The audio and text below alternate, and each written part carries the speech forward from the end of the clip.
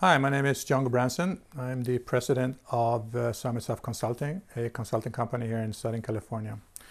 Today, I'm going to talk to you about PCI Express physical layer uh, to give an overview of uh, the physical layer technology and with emphasis on the electrical parts of it. Later presentations will be uh, more concerned with the protocol aspects of PCI Express. So PCI Express is actually not a bus, uh, but a point-to-point -point link. So it's a high-speed uh, bidirectional serial link, uh, which starts at two and a half gigabits uh, per second uh, for generation one, and then you have gen two and three, five and eight gigabit per second. Uh, and it can be scaled by using multiple lanes in parallel up to 32 lanes. So the clock used by the serial link is encoded within the serial data stream itself using 8B, 10B encoding. Uh, I'll discuss a little bit more about that uh, later. Uh, PCI Express maintains software backwards compatibility uh, with regards to configuration space registers, uh, plug and play for operating systems.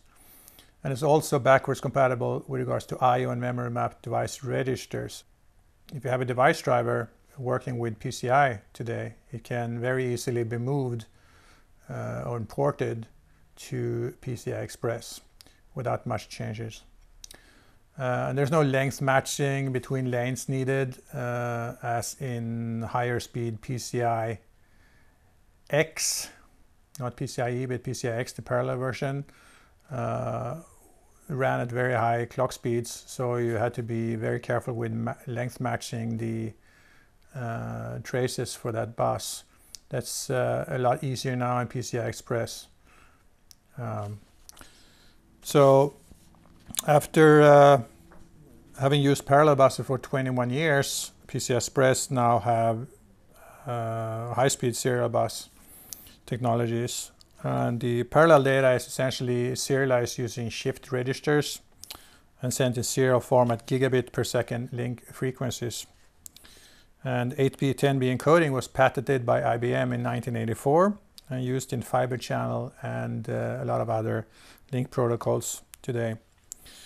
Um, so again, 8B 10B encoding allows data to be encoded in such a way that the clock signal can be embedded within the signal serial data sent.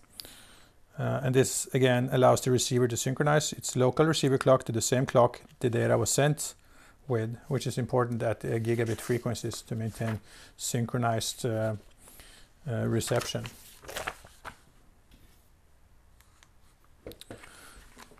So here we have a picture of uh, PCI Express versus PCI slots. So at the top here you can see that uh, you have PCIe connectors and at the bottom you have PCI.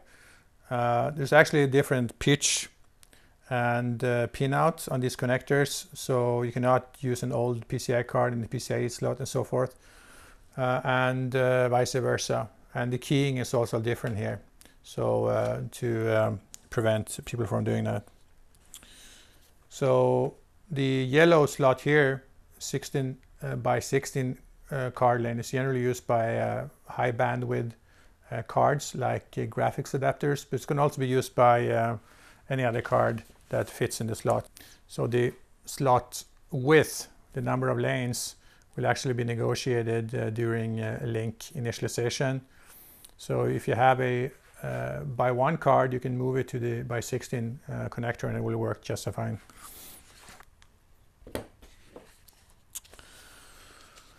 So some uh, nomenclature. Uh, there are links and there are lanes. So a lane is a uh, simply a pair of um, physical traces uh, making a lane bidirectional. So you have a differential pair, uh, one for TX and one for RX, and those are both simplex. So by having one going downstream and one upstream, you form a lane. Uh, a link then is a collection of lanes and you can have up to 32 uh, lanes per link.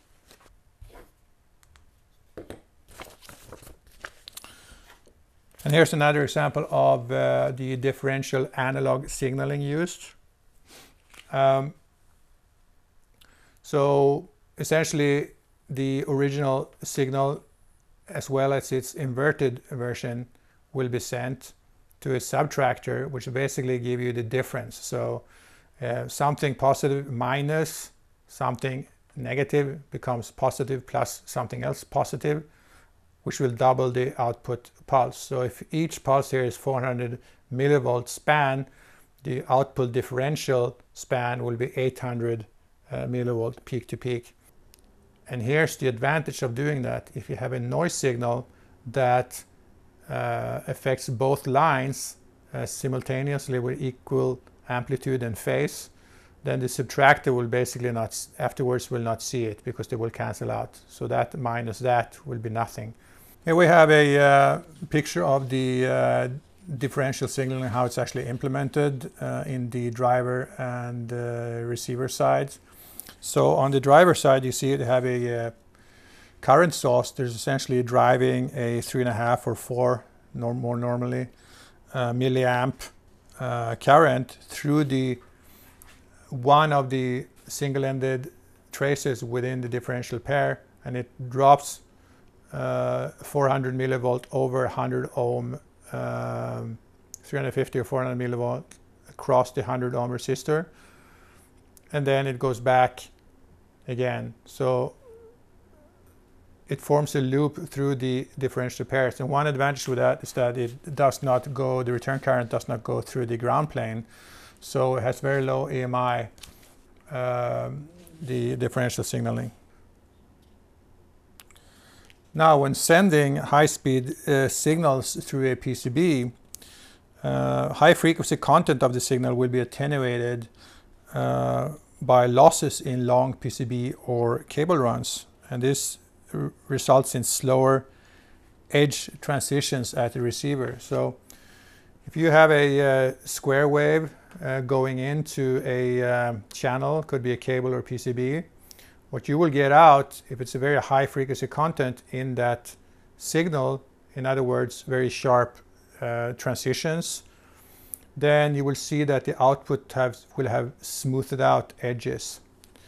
And uh, by increasing the voltage of transition bits uh, on the transmitting side, uh, in other words, you will send in more frequency, high frequency content uh, we can recover the correct waveform at the channel outputs.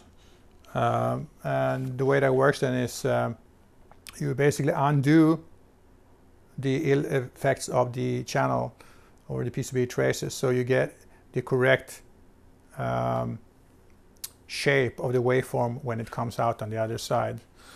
And uh, using pre-emphasis then will combat uh, inter-symbol interference or ISI so you can see here, for instance, that the signal actually doesn't uh, reach the low level. It should go down to this level, but before, because it's slowed down to such a point, uh, because of the low pass filtering effect of the PCB, it actually only goes halfway down before it goes up again. And by using pre-emphasis, you can actually make it go all the way down. Data scrambling. Uh, PCI Express uh, uses uh, something called uh, pseudo-random data scrambling uh, to spread off the RF energy in the frequency spectrum, uh, which then results in uh, less EMI or electromagnetic interference. It essentially accomplishes this by using a linear feedback shift registers um, on the both sending and receiving side. Uh, and and LFSR maintains an internal state machine, which is the top uh, 16 uh, flip-flops, uh, which then are reset at a certain point in the data whenever you get a uh, comma symbol, which is a K28.1. Uh, the data then is passed through these shift registers and then uh, there's an XOR operation being done between the state of the LFSR and the actual data. And by doing that, you will have a predictable and repeatable sequence of pseudo-random uh, data coming out on this side. So every time you, you, if you reset the LFSR and you send at the same point and you send the same data in, you will always get the same pseudo-random data out with a predefined uh, uh, sequence. Now the trick uh, to make this work is that the receiver uses an identical LFSR uh, with the same logic composition uh, and if the receiver is resetting uh, its LFSR at the same position in the data stream, that is when it receives a COM symbol or K28.1, then by doing the same XOR operation on the received bit stream, it will actually recover the original data on the receiver side, which is very clever.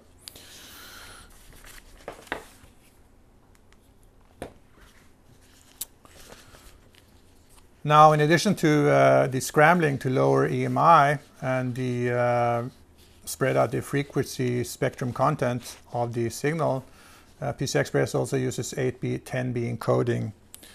Um, so, as it says here, that 8B, 10B encoding replaces each scrambled uh, byte with a 10-bit code before sending the 10-bit code on the link after it is serialized. And the replacement is simply a direct uh, lookup table based on the scrambled data byte and the current running disparity of the link. And then the running disparity is simply the difference between the number of sent ones and the number of sent zeros. And then the goal then is to have the disparity as close to zero as possible. And uh, by doing that, you will actually uh, keep the electrical DC balance on the link as close to zero as possible. You can imagine if you have more uh, ones than zeros, then you will actually over time you would increase um, the um, DC balance because the uh, traces uh, gets charged more and more and more and it starts creeping up. And if it creeps up far enough, then the receiver cannot actually recover the voltage because it's too high uh, for the receiver to deal with. Now, by using uh, the 8B, 10B encoding, uh, it allows the 10B, 10B symbols to be chosen such that uh, the data stream has enough transitions so that the receiver can synchronize its 2.5 gigabit PLL to the uh, data stream. And by doing that, you can then use a receiver clock and data recovery uh, to retrieve both the clock and the data accurately on the receiving side. And uh, this slide then uh, shows an example of that. The uh, transmitter sends the 10B encoded data. You have then a PLL on the receive side, uh, which then uh, is clocked at 2.5 gigabit, and then it locks, uh, synchronizes its phase with the transitions in the uh, received data stream, and it recovers then a, a um, 2.5 gigahertz clock that is then used to clock in the uh, data bits. Now then, uh, I mentioned earlier that uh, you can have multiple lanes uh, on a uh, PCI Express link. So the question then becomes how is the data actually multiplexed across those lanes? And when a link with multiple lanes, so this is a by four multiple lane link shown. The hardware blocks inside the uh, FPGA or ASIC uh, will actually uh, stripe the data across. So you start by putting the first byte in uh, lane 0 and then in 1 and 2 and 3 and so on and then it continues. So it'll be striped across and then the receiver will look for a new packet always in lane 0 uh, and then continue the striping. Um, and this, of course, allows the bandwidth to easily be uh, multiplied by simply adding more lanes. Um, regular I devices um, typically have by 1 to by 4 link widths, and graphic adapters typically used by 16 because they're very bandwidth hungry. FPGAs uh, normally use by 4 SerDes hardware, uh, either at Gen 1 or Gen 2 uh, speeds. So that allows you either 1 or 2 gigabytes per second I.O. bandwidth uh, if you're implementing your PCI Express uh, endpoint device in an FPGA. And uh, here then are some numbers for the actual bandwidth you can get. And it varies then for uh, from PCI Express 1 from 250 megabytes per lane up to PCI Express 4 1600 megabytes per lane. Uh, so if you are implementing your FPGA endpoint, you will probably use uh, PCI Express 1 or 2, so you can get up to uh, uh a few, a couple of gigabytes per second uh, I/O bandwidth, which should be plenty for most applications, of course. So uh, link training, when a link comes up, both peers they negotiate data rate, polarity inversion, lane deskew, and lane and lane number. And speed, of course, uh, if one, let's say the host, uh, supports uh, Gen 2 PCI Express and a device, an older Gen 1 device, is inserted in that slot to a motherboard, a PC motherboard, then there has to be a negotiation. And it's always the lowest, lowest common denominator uh, that determines uh, what speed uh, it will run at. So in that scenario, the link would run at Gen 1 polarity inversion, if you have um, traces on the board, that's easier to route by simply uh, switching the plus and minus um, conductors within a differential pair. Uh, the receiver will actually notice that uh, when the link is initialized and it will be automatically uh, inverted in hardware again. So it uh, undoes your inversion and becomes uh, normal again. So polarity inversion, uh, the differential plus and minus signals can be swapped electrically if physically crossed, and that's done automatically in hardware. Lane and lane deskew, I talked about that a little bit before. Um, so any delay between lanes in the link are calibrated away uh, in hardware again. Lane and lane number reversal. Um, normally you have the lanes numbered 0 to 3. Uh, you can reverse them again on your PCB if it eases the actual routing and then it will be that the reversion will be undone basically or compensated for in hardware by changing the lane numbering. Now this link training is negotiated via training sets, ordered sets, which are uh, exchanged when the link is being brought up. So something um, very important uh, with high-speed serial signaling is signal integrity, of course, uh, because a bit in uh, Gen 1, uh, 2.5 gigabit is only 400 picosecond long, and that, of course, uh, for Gen 2 and so on, will be uh, only 200 picosecond, and Gen 3, even worse, will be down to around 100 picosecond. then it's very important that you don't have any reflections, impedance discontinuities that will cause ringing and so forth uh, on the link. So that's something you really need to check on the receiver side uh, to make sure that the signal integrity is proper. Uh, so you can see here in the diagram uh, to the right, uh, once it goes through a long channel, could be a cable or um,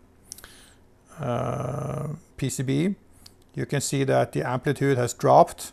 And you can also see that there's jitter here uh, due to reflections, uh, probably accounted when passing uh, connectors, for instance, that are not completely uh, well adapted for use with PCI Express. Each connector actually is not perfect. It has some extra inductance that causes reflections because the impedance uh, will not be exactly matched to the impedance uh, of the signal coming in and out.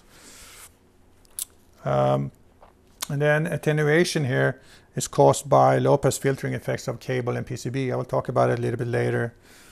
Uh, jitter can also be uh, caused by electrical noise in the transmitter. Could be power supply noise, uh, random thermal noise and channel effects such as ISI, crosstalk, impedance, discontinuities, etc. And as I mentioned before, that the pre-emphasis is used to compensate for channel losses and attenuation.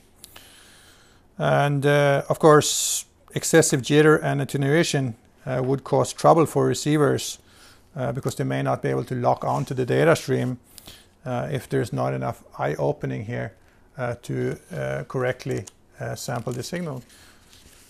And here we have an example of um, a little test board with two SMA connectors and a little differential line going through it. And uh, the graph to the right is a TDR uh, graph uh, where you can see the impedance uh, coming in is 50 ohm. So this part here is the actual cable that's connected over here. It's pretty much 50 ohm. As soon as you get to the connector, because of the impedance, extra impedance that the connector has, you will see a spike in the characteristic uh, impedance. And then as you go into the transmission line, which are these differential pairs here, you can see also that they're not completely well matched. They're more closer to 46 ohm instead of 50. And then as you reach the other connector, you have that uh, inductive uh, hump again, and then it goes back to 50 ohm impedance of the cable coming out. So uh, important is that uh, the characteristic impedance must be 50 ohm single-ended or 100 ohm differential across all traces and uh, conductors. Any uh, deviation in impedance will cause reflections, jitter, and eye closure. Uh, wider copper traces uh, result in higher capacitance, which will lower the impedance. Connectors typically have less capacitance, so overall inductive. Above means higher impedance. So the formula for calculating uh, the uh, characteristic impedance is uh, essentially Z0 is the square root of L uh, divided by C, and that means that if C increases, for instance, because of wider conductor, uh, then it would decrease the uh, characteristic impedance and cause some reflection. Um, there's another tip uh, if you're running uh, long runs of uh, cable or uh, PCB traces, keep them under tens of inches. If you have tens of inches, you might actually cut down the um, receiving signal level to about half of what was transferred or transmitted. Uh, so as an example, if you have a uh, link frequency of 5 gigahertz, you can here see that it's approximately 0.6 dB per inch. Um, so if you have about 10 inches, you get 6 dB, uh, which reduces the receiver eye diagram to about half. Um, and the dielectric loss, the green curve, is essentially what causes the attenuation of the signal. Uh, by uh, reorienting and heating the molecules in the PCB material because uh, it's a di dielectric, it actually absorbs part of the energy that you send in into the transmission line. Uh, and that um, mainly acts as the low pass filter uh, that I talked about before because the high frequency content is what it's kind of like a microwave oven uh, the higher frequencies are more easily absorbed by the material, like the food or water molecules in the food. Um, also, you can see here that the, uh, the conductor loss, which is essentially um, skin effect, it's not linear with the frequency. It mostly drops under 1 gigahertz and then pretty much stays constant regardless of the frequency.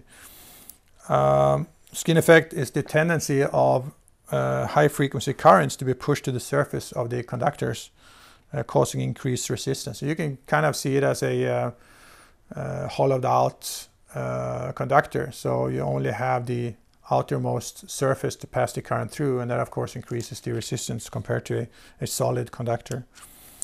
And uh, you can use redrivers then to um, to clean up the signal integrity, amplitude, and jitter without much uh, ill side effects. So if you need to run long distances, you uh, have to insert the redrivers.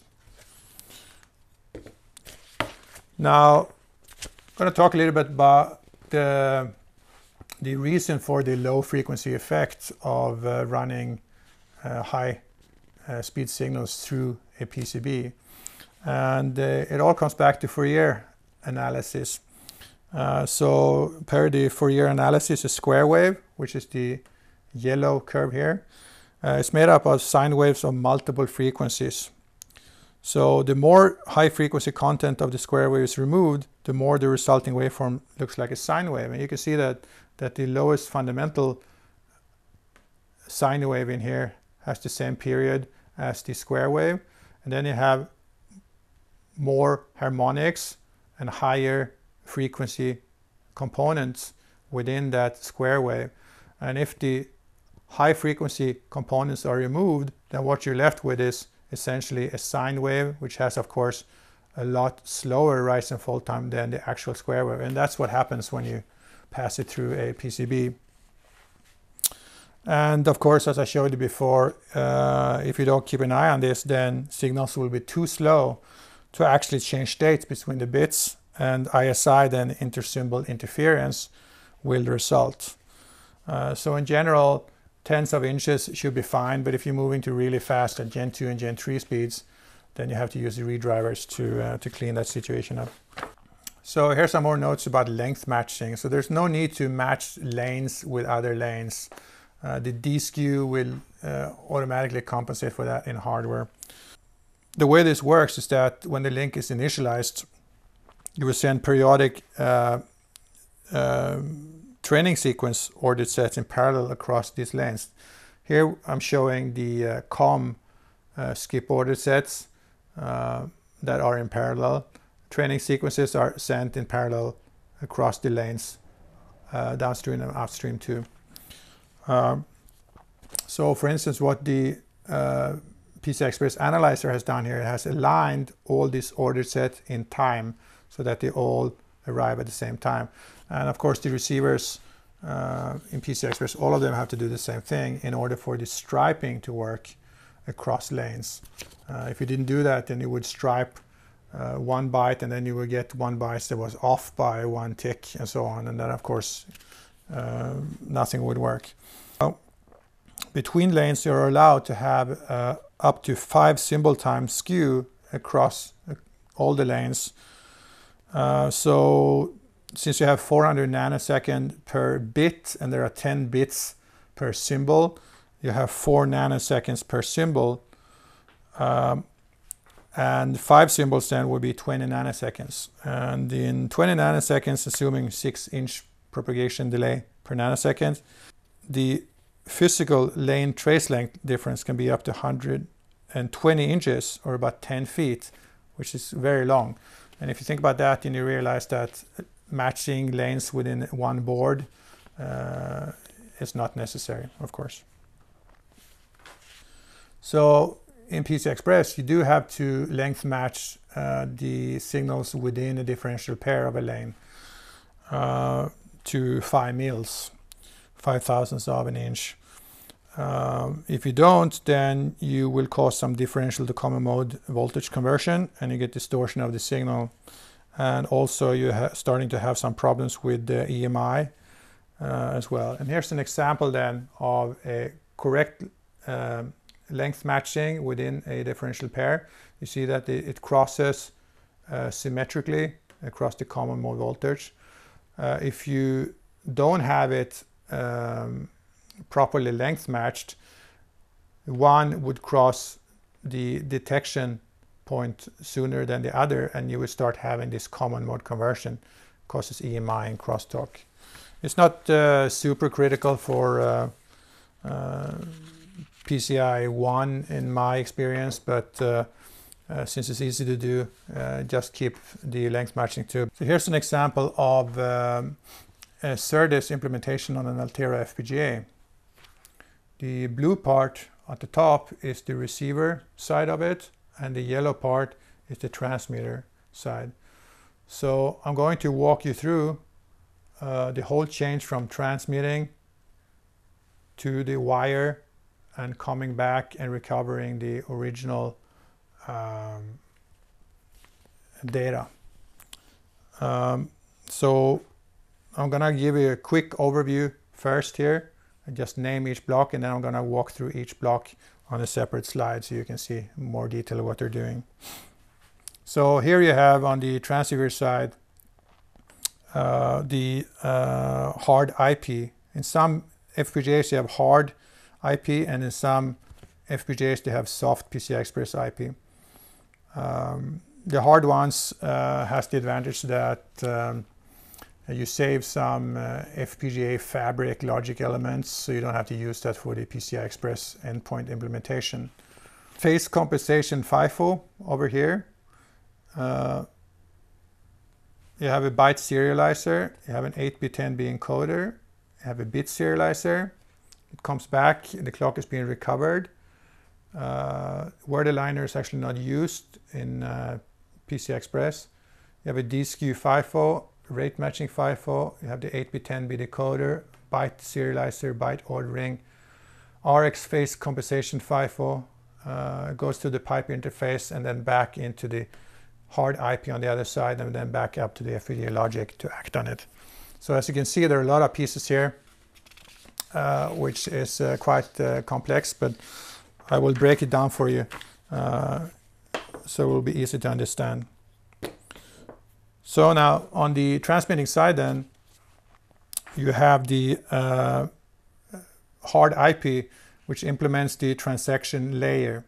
So your FPGA fabric then would create using state machines or some other IP perhaps uh, transaction layer packets uh, and then pass it on to the uh, hard IP or soft IP up here in the FPGA uh, fabric. Uh, that would then be passed through the pipe interface and down for transmission. Uh, the pipe interface, by the way, is standardized uh, in an Intel spec, so you can Google Google that. Pipe stand for uh, physical interface for PCI Express. And uh, here we have the TX phase compensation FIFO, byte serializer, and 8-bit 10B encoder. So, because the internal FPGA parallel pipe clock might not be exactly synchronized to the external PCI Express clock, uh, we need to cross clock domains going from the inside FPGA to what goes uh, further downstream. Uh, and that is done using the phase compensation FIFO. Phase compensation FIFO uh, is really a fancy name for a dual clock uh, FIFO. Uh, it's nothing else. Now the FPGA uh, has a limitation on um, the clock frequency that you can use in the fabric. Uh, so it doesn't work very well. It's hard to close timing at 250 megahertz.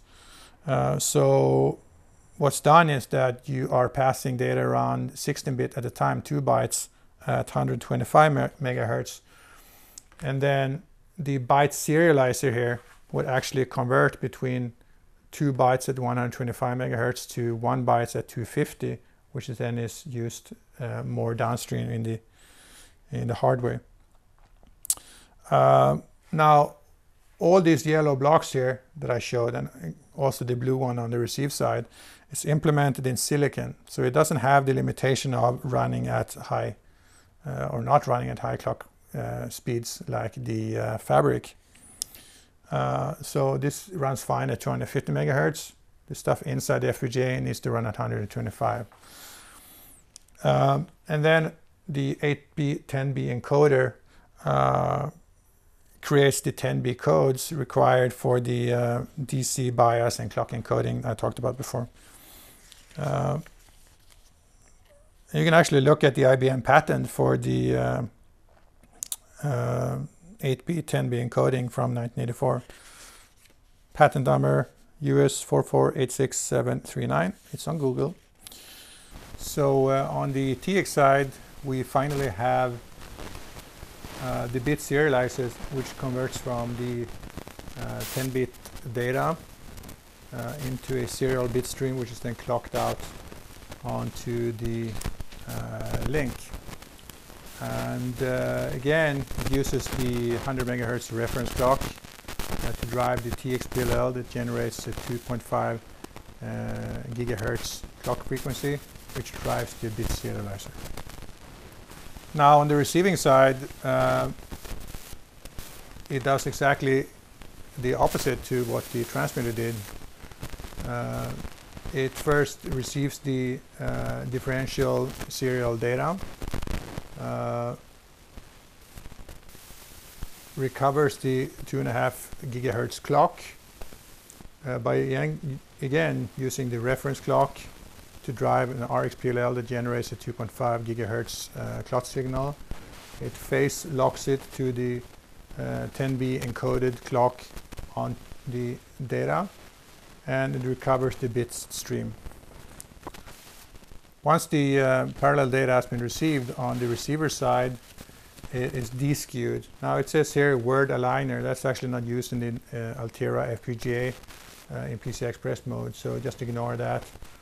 Uh, the deskew FIFO, FIFO here does the lane to lane deskew to line them all up in time.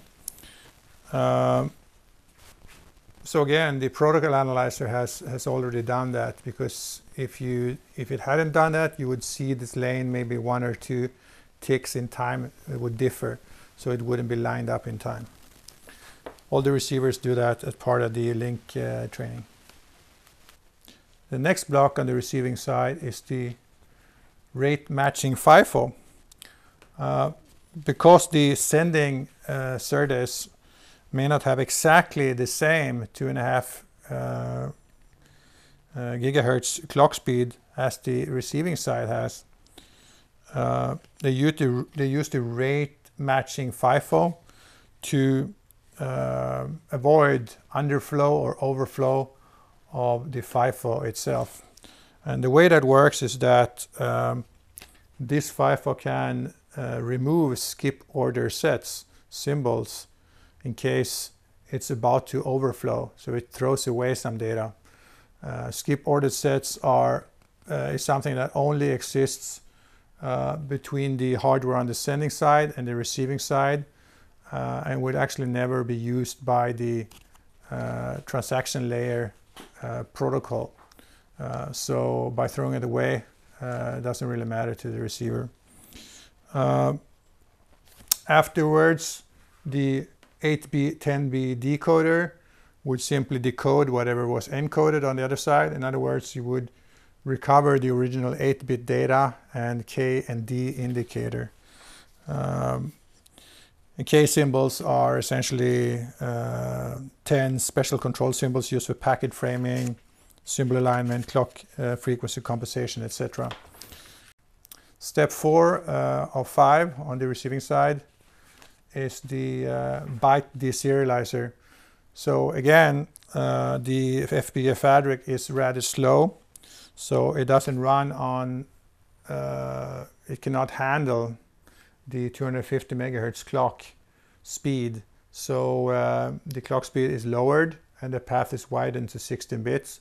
So you get out here two bytes at 125 megahertz, which are being passed on to the FPGA fabric. Uh, the very last step then is the RX phase compensation FIFO, which is essentially a dual clocked FIFO to cross into the clock domain used in the FPGA side.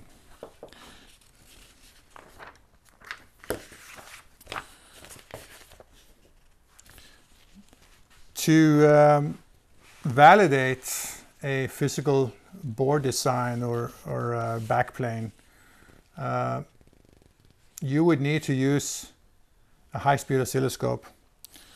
Um, as I showed you in the uh, previous slide regarding Fourier analysis, to recover uh, the uh, complete square wave and the high frequency content of it, you would need a, um, a scope that uh, has approximately five times the analog bandwidth of the fundamental frequency uh, within the signal you're analyzing. And for a Gen 1 2.5 gigabit uh, 10B encoded signal, which then has the highest fundamental frequency of 1.25. There's uh, one high bit and one low bit uh, per cycle. So the highest frequency toggling uh, rate of a PCI uh, Express Gen 1 signal is uh, 1.25 gigahertz and not 2.5. So you need 5 times 125 or approximately 6 gigahertz oscilloscope to analyze a Gen 1 link. Uh, the same math then um, uh, tells you that you need a 12 gigahertz scope for a Gen 2 5 gig uh, link or 20 gigahertz for Gen 3 8 gig. If you want to analyze uh, the digital uh, aspects of the physical communication. You need a PCI Express protocol analyzer. Uh, this is uh, a unit that I designed for international test instruments. Uh, and uh, it does everything that a receiver would need to do on the receiving service side to capture and interpret the data. And that means that um, it does the deskew of the data that comes in to line it up in time. It does the descrambling using the linear feedback shift register method. Uh, and it also uses the, uh, uh, the 8B, 10B uh, decoder to uh, decode the actual uh, raw hex data that's being sent on the link. For more information on this uh, unit, you can go to internationaltestinstruments.com. Uh, now, if you want to learn more uh, about the physical interface of PCI Express, of course, there are a lot of sources. Uh, these two first books uh, are written by Intel Press, uh, PCIe Electrical Interconnect Design and the complete PCIe reference. And you have the books, of course, from uh, Mindshare as well, the PCI Express technology uh, books, three uh, and earlier ones as well. Um, finally, uh, some words about uh, my company, Summit Soft Consulting. It was founded by me uh, about 15 years ago. I've been in the business for 20 years doing electronics and software engineering uh, had extensive experience with microcontrollers, digital and analog electronics, Windows software and device drivers, high-speed board design, signal and power integrity, FPGA digital design, USB, PCI Express protocol analyzer design, and much more. Uh, in particular, uh, I'm the chief designer for uh, uh, International Test Instruments. I designed their um, 1480A USB uh, 2.0 protocol analyzer, their uh, USB 5000A, USB 3.0, uh, 5 gigabits per second protocol analyzer, and also the protocol analyzer I showed you, the um, 2500A by 4 lane PCI Express protocol analyzer. So if you uh, need help designing or debugging issues with uh, FPGA uh, device drivers uh, communicating with USB or um, PCI Express devices, I can be of help. I hope you found this um, presentation interesting. Uh, I will create some more uh, separate uh, videos that cover the um, the uh, communication related packets used on PCI Express and uh, that should be online within a couple of weeks. Thank you.